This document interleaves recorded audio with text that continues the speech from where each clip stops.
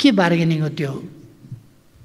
सोह्र अरब छुट दिएर छ अरब उठाउन चाहिँ यो यो तमासा चाहिँ के हो त? भ्रष्टाचार भ्रष्टाचार भनेर गराएर अनि भ्रष्टाचारलाई चाहिँ झ्याप्प छोप्यो।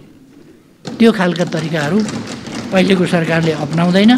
गोलमटोल गोलमटोल गरेर बाइस अरब तिर्नुपर्छ भन्ने। बाइस अरब तिर्नुपर्छ भनेका ठाउँबाट छ अरब मात्रै तिर्नुपर्छ भन्नेमा छ अरबमा ल्याइ पुर्याउने अनि छ अरब चाहिँ उठाउँछ कि भने जस्तो पारेर विद्युत लाइन काट्ने। पहिले पनि लाइन काटेको थियो फेरि जोडेको थियो। किन काट्यो? किन जोडियो? काट्दै जोड्दै किन भयो? र बाइस अरब असुल गर्नुपर्ने छ अरब मात्रै किन हो त? अहिलेको सरकारले उठाउनु पर्छ उपभोग गरेको विद्युतको महसुल उठाउनुपर्छ। उपभोग गरेको छैन भने उठाउनु पर्दैन भने हो। उपभोग गरेको महसुल उठाउनु पर्दैन कसले भने सर? मैले यसै रोस्टमबाट विद्युत महसुल उठाउनु पर्छ भनेर रिपिटेडली भनेको छु। महसुल उठाउनुपर्छ जसले महसुल नउठाएर समस्या पैदा भयो जसले महसुल घुमाइ फिराइकन कहाँ गयो सोह्र अरब? बाइस अरब उठाउनु पर्ने भनेर महालेखाको प्रतिवेदनमा बुझाएर महालेखाको प्रतिवेदन संसदमा पेस भएको छ। बाइस अरब उठाउनु पर्ने भन्ने। बाइस अरब उठाउनु पर्ने भन्ने महालेखाको प्रतिवेदन छ र वार्षिक प्रतिवेदन गरिमामय संसद समक्ष प्रस्तुत भएको छ। राष्ट्रपति कहाँ प्रस्तुत भएर संसदमा आएको छ। अनि अहिलेको सरकारले नउठाउन खोज्यो भनेर यो प्रचारको तरिका अचम्म लाग्छ। हामीले भनेको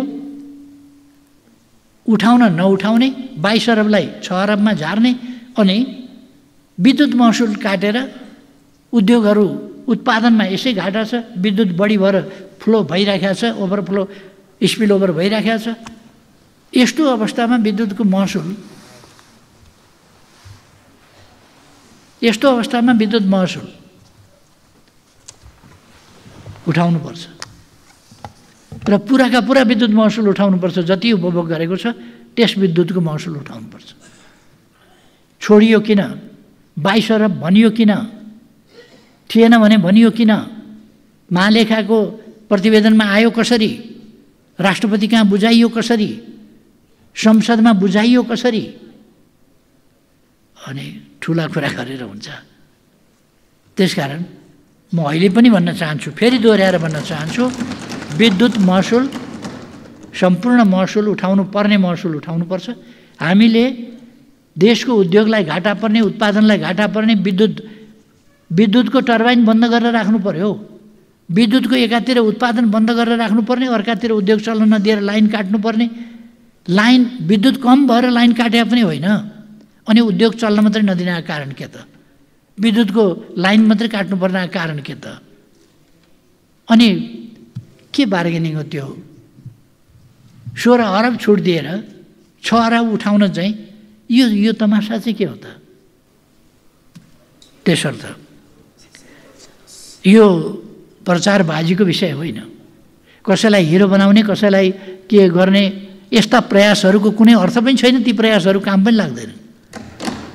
तर प्रयास चाहिँ जारी छन् व्यक्ति विशेषलाई हिरो बनाउने किन खोजी हुँदैन? हेटौँडामा भएका त्यत्रा ट्रान्सफर्मरहरूको खोला वारी खोला पारी लस्कर छ ट्रान्सफर्मरहरू सडेर बसेका छन् कुहेर बसेका छन्। राज्यको सम्पत्ति तामाको चिज राख्नुपर्ने ठाउँमा अल्मोनियम राखेर काम नलागेर ती ट्रान्सफर्मर त्यत्तिकै राखेको छ। त्यसका लागि कोही जिम्मेवार हुनुपर्छै पर्दैन। कोही छैन भने ठेकेदार जसले ठेका लिएको छ के भनेर ठेका लिएको थियो त्यस अनुसार भयो कि भएन या कम सलै ल्याउनु भनेर ठेका लगाएको थियो कि? किन्न लगाउँदा? के भनेर के निर्णय अन्तर्गत किन्न लगाइएको थियो? यही काठमाडौँ भक्तपुरतिर फ्याँकेका ट्रान्सफर्मरहरू के भएका हुन्थेन? तिनीहरूको छानबिन हुनुपर्छ कि पर्दैन? अनि सत्यलाई ढाकछोप गर्नका लागि चर्का आवाज निकालेर जनतालाई भ्रममा पारेर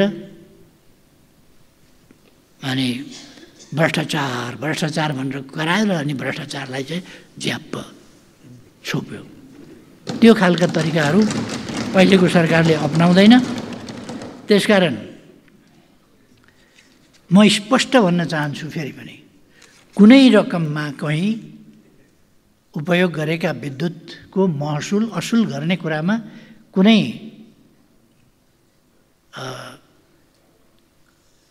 छुट दिइने छैन। र अकारण कारण त अलिकति होला तर अनुपयुक्त ढङ्गले जसरी विद्युत काटियो उद्योगलाई दिइरहेको विद्युत उत्पादनमा कमी हो मजदुरहरू त्यत्तिकै बसे अरू त्यत्तिकै बसे इन्जिन त्यत्तिकै बसे मान्छे त्यत्तिकै उत्पादन भएन उत्पादन नभएपछि के हुने भयो? भने तिनीहरूले उत्पादन गरेर जहाँ सप्लाई गर्थे त्यो सप्लाई नहुने भयो। कति दिनसम्म उसले उत्पादन नभएपछि सोरुम खाली राखेर बस्छ। अन्तबाट किन्छ नि उसले। त्यसकारण ती उद्योगहरूले जहाँ बेच्ने गरेका थिए त्यहाँ बाहिर नपाउने भए। अर्कोतिर जहाँबाट सामग्री किन्ने गरेका थिए कच्चा पदार्थ यहाँ नलिने भइसकेपछि उद्योग नचलेपछि लिने भएन। नलिएपछि अनि उनीहरूले सप्लायरबाट सप्लाई पनि नपाउने भए। प्रडक्सनको उनीहरूको चेन नै इन्डस्ट्रीको एक तहमा भन्ने हो भने इन्डस्ट्रीको तत्त्व नै ब्रेक हुने भयो। त त्यसो भएर यस्ता खालका कुराहरू हुनु हुँदैन भनेर सरकारले जिम्मेवारीपूर्वक ढङ्गले विद्युत प्राधिकरणलाई भनेको यो किन यो किन छोडियो किन उठाइएन किन तबसम्म उठाइएन? किन समयमा भुक्तानी लिइएन? त्यति बेरै यसको छिनोफानो किन गरिएन? र अहिले उद्योगका लागि महसुल तिराउने। अहिलेसम्म महसुल तिराउन विद्युतको लाइन काटिया छ। कहीँ काटिया छ? विद्युत महसुल तिराउने बाटो भनेको विद्युतको लाइन काट्नु हो। कहीँ पनि विभिन्न होटलहरूमा विद्युतको लाइन कहिले कहिले समयमा नतिरेको हुनसक्छ। त्यसलाई जरिमाना समेत के के पेनल्टी सेनल्टी लगाएर पनि फेरि असुल गरे हुन्छ तर विद्युतको लाइन काटे आउँदैन अस्पतालले कहिले कहिले पैसा तिर्न सकेन भने त्यसमा लाइन काटिन्छ उद्योगमा काटिन्छ होटलमा काटिन्छ लाइन। पैसा तिरेन भन्दैमा। अर्को कुरा त यो त व्यापार पनि हो नि सरकारको। आफ्नै व्यापार रोकेर अनि सरकारले त्यसरी काम गर्छ। भन्ने कुरा मात्रै हो। यसमा म स्पष्ट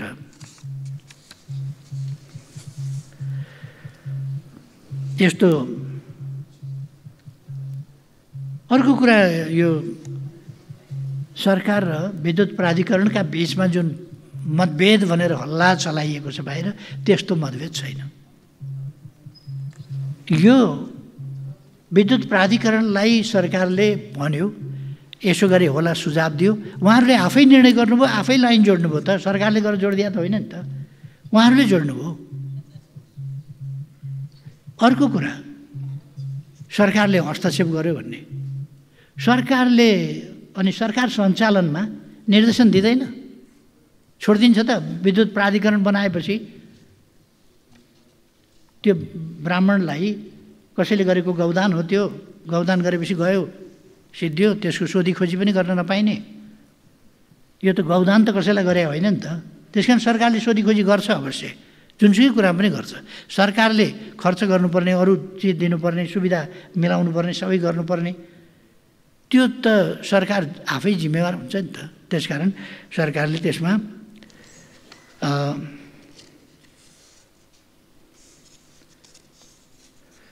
म स्पष्ट भन्न चाहन्छु। बक्यौता हामी उठाउँछौँ छोड्दैनौँ। तर उद्योग बन्द गरेर होइन चलाएरै। उद्योग बन्द गरेर बक्यौता उठ्छ भन्ने कुरा होइन। गलत हो।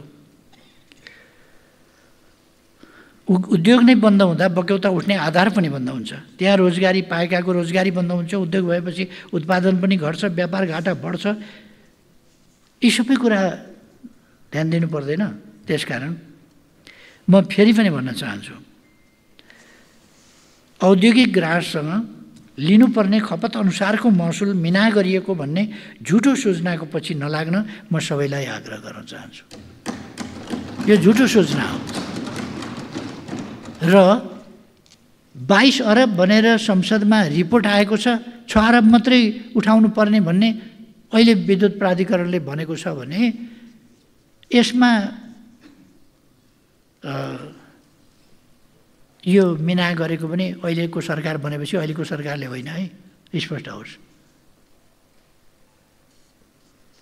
र यस्तो झुटो सूचनाको पछि नलाग्नका लागि म सबैलाई आग्रह गर्न चाहन्छु। सरकारले विभिन्न सहुलियत मार्फत सर्वसाधारणले खपत गर्ने विद्युतको शुल्कमा छुट दिएको छ। मास मासिक एक्काइस लाख सर्वसाधारणलाई बिस युनिटसम्मको विद्युत नि शुल्क दिइएको छ। सर्वसाधारणलाई बिस युनिटसम्म खपत गर्ने उपभोक्ताहरूलाई केवल मासिक तिस रुपियाँ तिरे पुग्ने व्यवस्था गरिएको छ। त्यस्तै सिँचाइ सिँचाइ वर्गका ग्राहकलाई प्रति युनिट दुई रुपियाँ पच्चिस पैसाका दरले विद्युत उपलब्ध गराइएको छ भने सामुदायिक खानेपानीमा डिमान्ड चार्ज पुरै मिना गरी प्रति युनिट चार रुपियाँ बिस पैसाको दरले विद्युत उपलब्ध गराइएको छ। चार्जिङ स्टेसनलाई सहुलियत दरमा प्रति युनिट पाँच रुपियाँ पचहत्तर पैसाका दरले विद्युत उपलब्ध गराइएको छ। आगामी दिनमा सर्वसाधारणले उपभोग गर्ने विद्युत महसुल दर थप घटाउन सकिन्छ।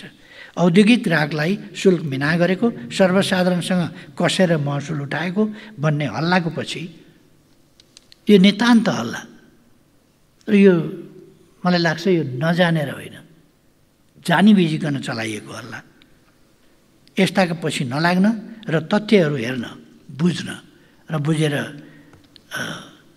यसको सत्य बुझेर अगाडि बढ्न म सबैलाई पनि आग्रह गर्न चाहन्छु र प्रश्नकर्ता मान्यज्यूलाई पनि अनुरोध गर्न चाहन्छु।